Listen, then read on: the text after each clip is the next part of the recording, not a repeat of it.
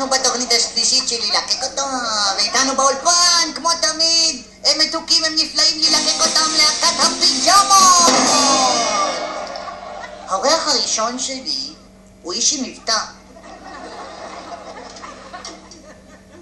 אני שמח לארח את יושב ראש האגודה לתרבות הדיור, נאג'י ג'קסון. לא נכון.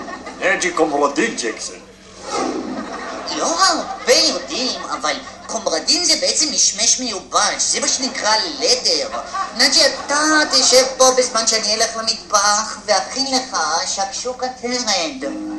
המרכיבים לשקשוקה תרד מאוד פשוטים, כמובן תרד.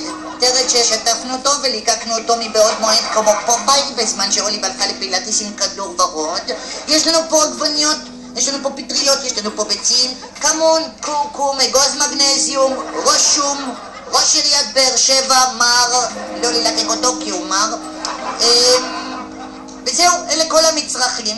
אנחנו נעבור ונשמע שיר של להקת הפיג'מות. לא ללקק את החיות, הן ממש לא נקיות, לא ללקק את החיות. ללקק את החיות. לא ללקק את החיות, רק סוכריות, זה מצמין פחות. ללקק את החיות. אל תלקק את הפרה, אולי מזיעה. אם לא בא ליקוק כזה, אז בא ליקוק הבא.